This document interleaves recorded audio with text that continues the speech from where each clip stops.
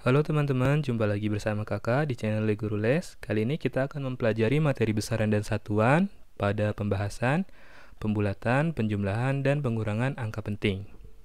Sebelumnya jangan lupa untuk subscribe channel ini, tombol di sebelah kanan bawah. Jangan lupa juga untuk mengklik tombol loncengnya untuk mendapatkan notifikasi video terbaru. Dan jangan lupa di sebelah kanan atas akan ada link playlist supaya teman-teman bisa belajar tentang besaran dan satuan dari awal sampai akhir.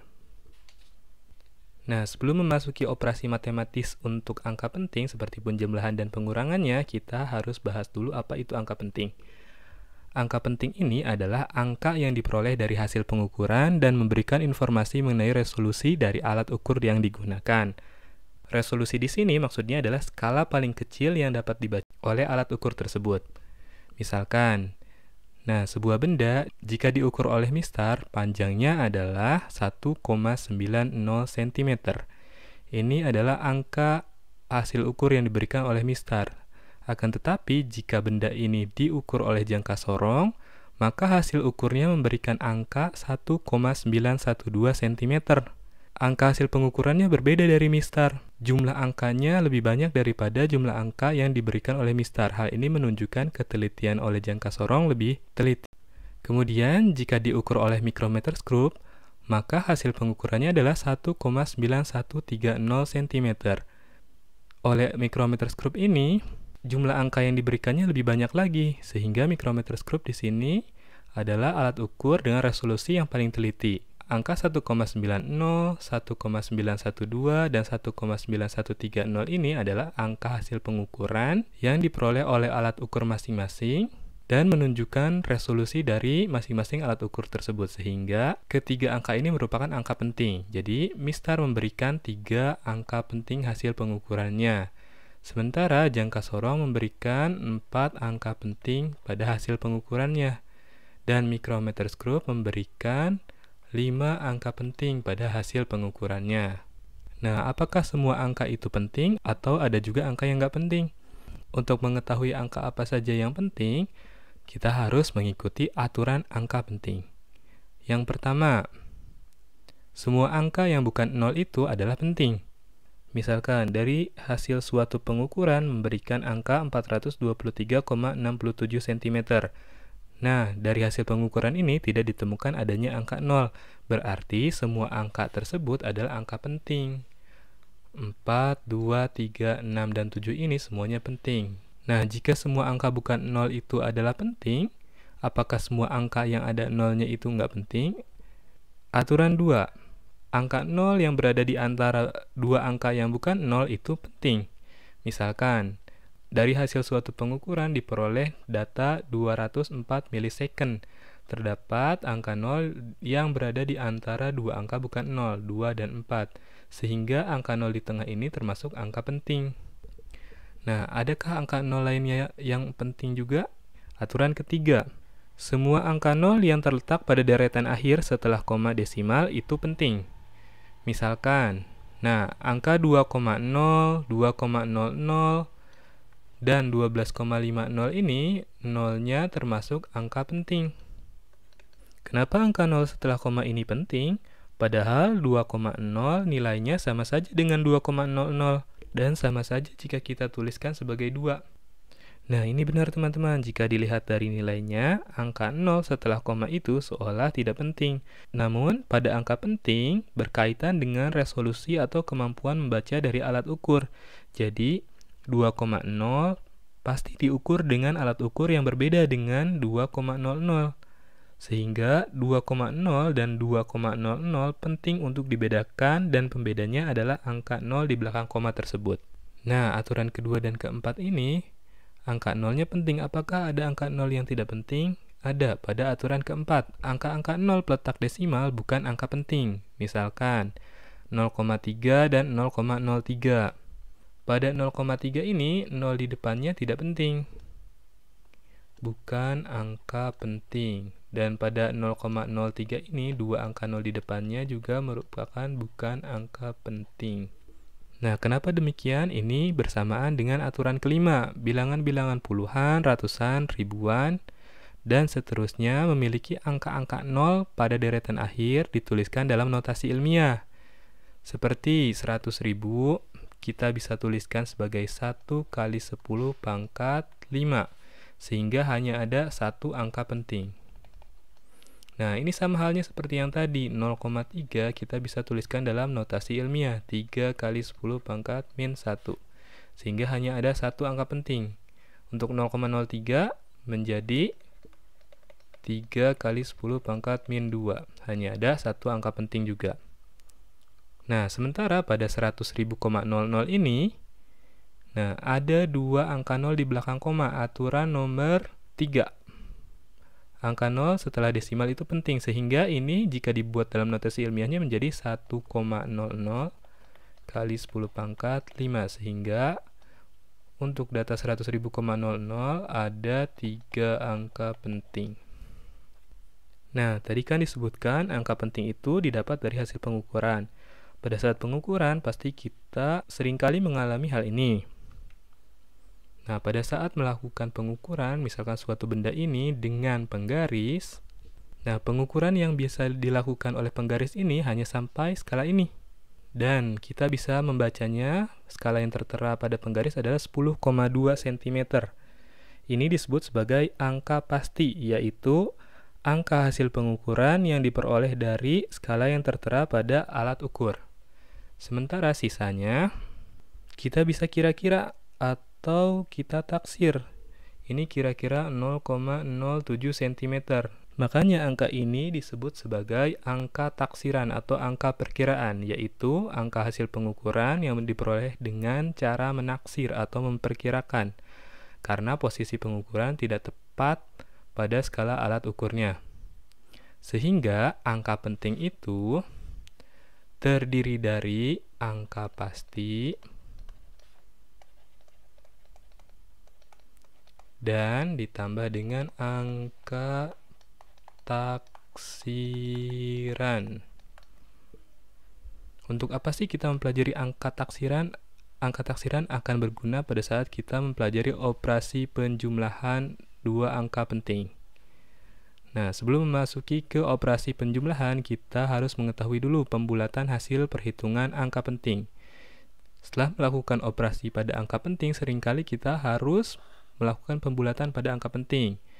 Nah, pembulatan angka penting tersebut diatur dengan aturan berikut. 1. Jika angka pertama setelah angka yang dipertahankan kurang dari 5, maka angka tersebut dan angka-angka di belakangnya ditiadakan begitu saja. Misalkan 124,434587. Misalkan kita hanya akan mempertahankan 4 angka penting, yaitu hanya sampai di 124,4. Nah, Angka pertama setelah angka yang dipertahankan yaitu 3, 3 nilainya kurang dari 5 sehingga dari 3 dan angka-angka seterusnya dihilangkan begitu saja. Hasil pembulatannya menjadi 124,4. Nah, aturan kedua. Jika angka pertama setelah angka yang dipertahankan kurang dari atau sama dengan 5, maka angka tersebut dan angka-angka di belakangnya ditiadakan dan angka terakhir yang dipertahankan bertambah 1. Misalkan 124,474587. Kita pertahankan lagi 4 angka penting. Nah, angka pertama setelah angka yang dipertahankan adalah 7.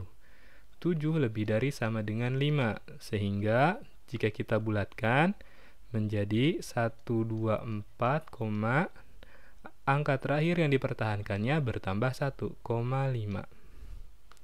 Nah, itu untuk pembulatan angka penting. Oke, kita akan masuki ke operasi pertama pada angka penting. Yang pertama adalah penjumlahan dua angka penting. Saat dua angka penting dijumlahkan, maka hasil akhir penjumlahannya hanya boleh mengandung satu angka taksiran. Nah, misalkan 24,560 ditambah 22,42. Nah, angka taksiran ini biasanya ditunjukkan dengan garis bawah pada angka-angka tertentu.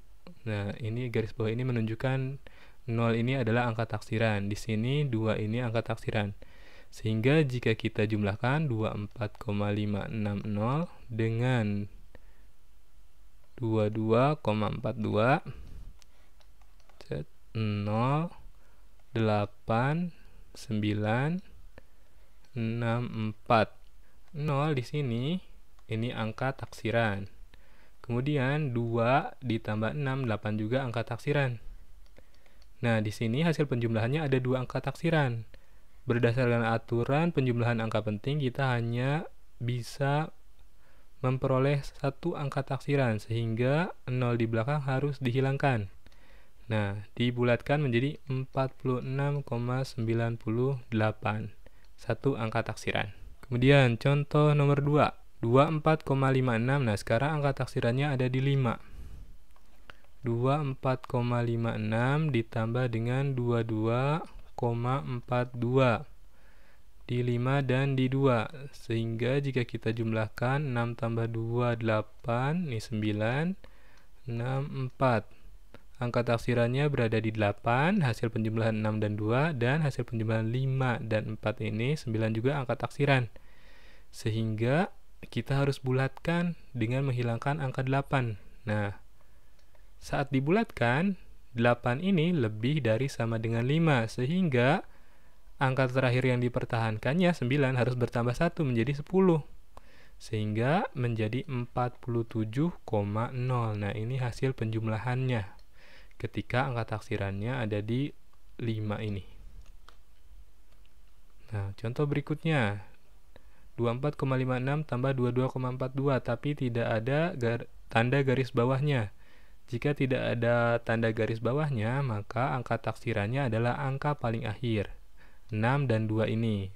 Jadi, jika kita jumlahkan 24,56 ditambah 22,42 hasilnya adalah 8964. Angka taksirannya di 6 dan 2 di 8 ini sudah ada satu angka taksiran sehingga hasilnya adalah 46,98 nah itu untuk penjumlahan angka penting untuk lebih memahami materi ini mari kita coba soal berikut ini 1. Tentukan banyaknya angka penting pada hasil pengukuran berikut 25,67 tidak ada angka 0, semua angka bukan 0 penting. Aturan nomor 1 berarti keempatnya termasuk angka penting. Bagian B, 24,02. Ada satu angka 0. Angka 0 terletak di antara dua angka bukan 0 merupakan angka penting, sehingga terdapat 4 angka penting. Ini aturan nomor 2. Kemudian bagian C, 6,00. Nah, angka 0 setelah desimal merupakan angka penting. Aturan nomor 3. Jadi, ketiganya merupakan angka penting. Bagian D, 0,04. 0,04. Angka 0 sebagai peletak desimal tidak penting karena ini bisa dijadikan 4 kali 10 pangkat min 2 dengan notasi ilmiah. Jadi hanya ada satu angka penting yaitu bagian 4-nya saja. Bagian E 0,040. Dua angka 0 di depan koma ini, dua angka 0 peletak desimal ini bisa kita jadikan 4. Nah, ini ada 0 di belakang 4 dia penting jadi 4,0 kali 10 pangkat min 2 gabungan dari aturan nomor 3 dan nomor 4 hanya ada dua angka penting 4 dan 0 ini karena dua angka 0 di depannya tidak penting. 8500 angka ratusan, ribuan, dan puluhan ditulis dengan notasi ilmiah sehingga menjadi 8,5 kali 10 pangkat 3 ada dua angka penting yang G 1200 milisecond. Angka puluhan ribu atau belasan ribu ditulis dengan notasi ilmiah. Jadi 1,2 kali 10 pangkat 4 jumlahnya 2 angka penting.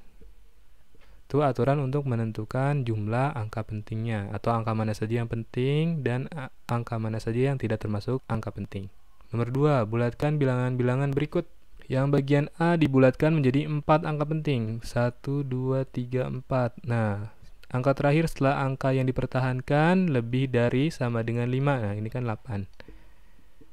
Sehingga dibulatkan menjadi angka terakhir yang dipertahankannya ditambah 1. 5, 5, 4 tambah 1. Bagian B, dibulatkan menjadi 4 angka penting. Uh, Angka terakhir setelah angka yang dipertahankan 4 kurang dari 5. Sehingga angka seterusnya ditiadakan begitu saja, 34,04. Bagian C, nah ini ada dua angka 0 letak koma. Ini kita jadikan du kita tulis dulu dengan notasi ilmiah 9,863 kali 10 pangkat min 2. Diminta dua angka penting sehingga cuma sampai di 8 sini. Nah, angka terakhir setelah angka yang dipertahankan 6 ku, lebih dari sama dengan 5 sehingga dibulatkan menjadi 9,8 nya ditambah 1 9 kali 10 pangkat min 2 bagian D 12.300 angka belasan ribu. Kita tulis dengan notasi ilmiah. 1,23 kali 10 pangkat 4 diminta dua angka penting. Nah angka terakhir setelah angka yang dipertahankan kurang dari 5 sehingga ditiadakan. Nah ini menjadi 1,2 kali 10 pangkat 4 ini untuk pembulatan angka penting. Berikutnya, nah ini untuk operasi penjumlahan. Bagian A. Jumlahkan atau tambahkan 183,018 gram dengan 4,32 itu 4, ya. Nah, 4,32 gram. Nah, di sini tidak dituliskan garis bawahnya sehingga angka taksirannya adalah angka paling akhir, 8 dan 2 ini. 8 angka taksiran, 2 angka taksiran. Jadi, setelah dijumlahkan, ini 8, 3, 3, 7, 8, 1. Nah, 8 angka taksiran, 3 ini angka taksiran, hasil penjumlahan 2 yang merupakan angka taksiran. Ini ada dua angka taksiran, kita akan bulatkan. Nah, kita buang angka 8 ini, namun karena 8 lebih dari 5, maka angka terakhir yang dipertahankannya bertambah 1. Jadi 187,34 gram. Ini hasil penjumlahannya. Oke. Bagian B. 22,439 gram ditambah dengan 2,34 ditambah 12,2 nah angka taksirannya ada di 9, 4, dan 2 kita jumlah 9, 7, 4 tambah 3, 7 tambah 2, 9 2, 2, 2, 6 3 nah 9 angka taksiran, 7 angka taksiran, 9 angka taksiran. Ada 3 angka taksiran. Kita buang 2 angka taksiran yang di belakangnya. Namun angka pertama setelah angka yang dipertahankan ini 7 nih. Lebih dari 5 sehingga yang ini akan bertambah 1 9 jadi 10 nah jika dibulatkan ini jadi 37,0 gram bagian C nah itu kan penjumlahan tadi sekarang pengurangannya C 228,63 dikurangi 12,4 nah, ini sama saja sebenarnya hanya menentukan di mana yang merupakan angka taksirannya. 3 dan 4 angka taksiran. Dikurangi. 3, 6 kurangi 4, 2, 8 kurang 2, 6, 2 kurang 1, 1, ini 2. 3 angka taksiran, 2 angka taksiran. Kita buang 3. 3 kurang dari 5 sehingga jika dibulatkan jadi 216,2 cm. Lanjut bagian D Nah, 2,74 kali 10 pangkat 4. Di sini 4,250 kali 10 pangkat 3. Nah, pangkatnya beda. Kita harus samakan dulu. Nah, enaknya samakan pangkat itu kita samakan pada pangkat yang lebih sedikit. Nah, jadi kita buat yang 10 pangkat 4 ini menjadi 10 pangkat 3. Nah, bagian D kita akan tuliskan jadi 27,4 kali 10 pangkat 3. Nah, ditambah 4,250 kali 10 pangkat 3. Oke, ini angka taksirannya di 4. Ini angka taksirannya di 0. Jadi ini kali 10 pangkat 3. Nah, kita tinggal jumlahkan 0, 5, 6, 11, 3 31,650 angka taksiran, angka taksiran. Kita buang dari sini. Nah, ini 5.